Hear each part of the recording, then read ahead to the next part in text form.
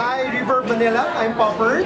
Uh, magbabalik na po ang Rock of Ages at magbabalik ako bilang Kenny po. Sana mapanood nyo uh, ah, this coming uh, June 17 to August 16 sa Peta Theater.